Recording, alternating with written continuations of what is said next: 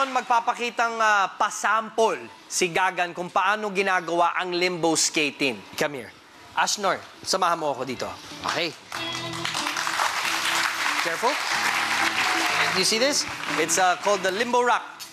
Ito po ay ginagamit natin sa mga parties paminsan-minsan, di ba?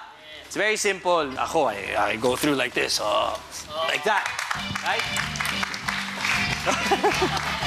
very simple. Okay. I want to make it challenging.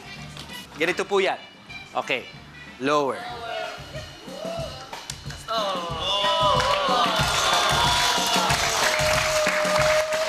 Mga dalawat kalahating dangkal.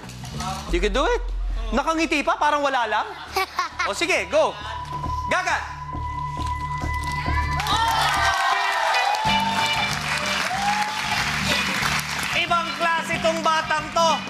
Natin si Gagan. Hindi nagtatapos dito ang challenge ko sa iyo, Gagan. Ile-level up ko pa ito. Gusto niyo ba, mga kapamilya, i-level up natin to? Okay. Watch the episodes and clips of Little Big Shots only here on ABS-CBN. Subscribe now to be updated weekly.